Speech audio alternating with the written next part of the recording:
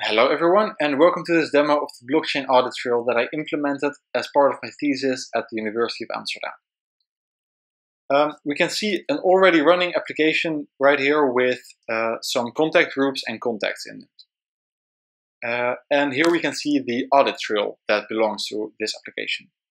And we see a single audit entry here, uh, which contains a list of changed properties uh, that were changed in the creation of this dummy data that I, uh, that's in the application.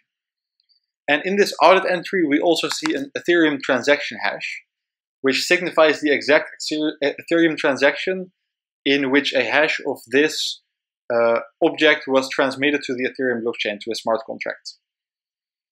And if we go to uh, Etherscan, we can actually see that uh, two minutes ago this uh, smart contract was created by the application.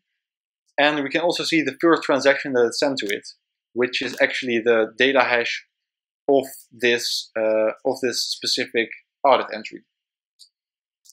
For this demo, we will be walking through the uh, third scenario that I identified in my thesis called the inexperienced admin. And in this scenario, a system administrator restores a backup but in doing so, he accidentally overrides all the existing data, effectively deleting all the changes that were made after the backup.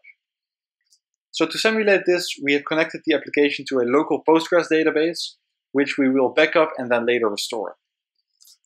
Uh, but first, let's use this application a little bit so that we can uh, so that we have some more uh, audit entries in in the in the log.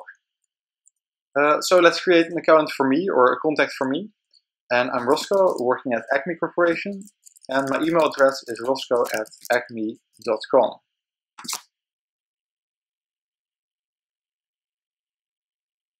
So, of course, I also uh, belong to a contact group. So we will add me to one as well. And we'll add me to the management board, where I am a senior group uh, manager.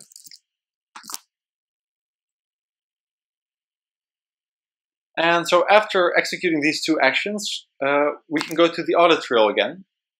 And we see these two new uh, audit entries. Uh, one for the creation of uh, my contact and one for the addition to the group. Uh, however, we also see that there's no Ethereum transaction hash set just yet. And that is because all the uh, Ethereum transactions are executed asynchronously so that the rest of the application doesn't necessarily have to wait for the, these transactions to complete. However, if we go to uh, Etherscan, we see that there are two new transactions added, and the last one is still pending. So we'll have to wait uh, uh, before we continue until they are all uh, confirmed, which they are right now. So next step is to uh, really take a backup of the existing database, which we will do with pg_dump. All right, backup has been taken. So now we will create uh, another contact uh, for Willem Alexander van Oranje Nassau, uh, who works for the uh, Kingdom of the Netherlands. All right. And we will also add uh, our Willem Alexander to uh, a contact group. We will add him to the management board as well as a country manager.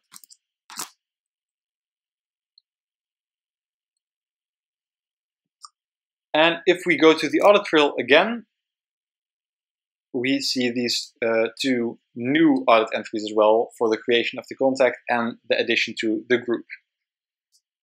Uh, so we'll have to wait uh, again until these are uh, confirmed before we continue.